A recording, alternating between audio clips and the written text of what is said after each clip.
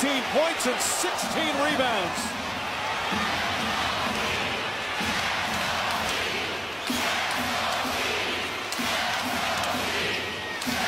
Wade, another one, looks absolutely exhausted out there. Chalmers with six on the 24. Chalmers drives and draws the foul, nearly puts it in. But a horrible. Chalmers, 9 for 11 in the finals.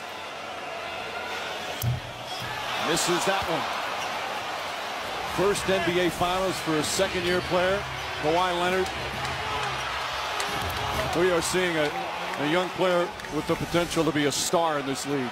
Because they had nothing on that possession. Bosh had it and lost it. Off two missed free throws. Bosh nearly grabbed the offensive rebound. Leonard, another three. Way off.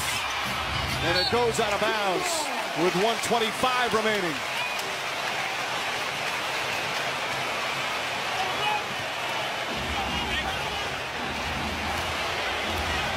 The NBA championship on the line.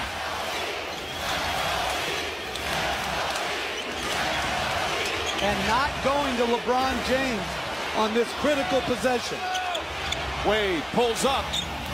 Off the mark. James skies in for the offensive board. Battier open for three. Too strong. Ginobili trying to go for it. Comes up with the ball. Under a minute remaining. Green nearly lost it. Back to Ginobili. Inside Duncan. Across the lane. Duncan misses the tip. No good. And Bosh the rebound. Heat clinging to a two-point lead. And a point blank miss by Duncan and then the follow.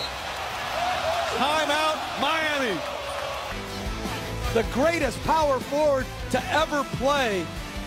Tough luck. The Heat up two.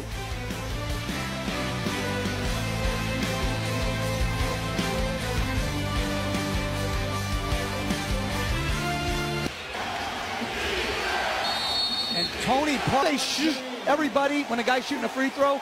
I think it makes people more nervous. I'd rather have everyone screaming than shushing. Fouled by Green. They're ready to celebrate here.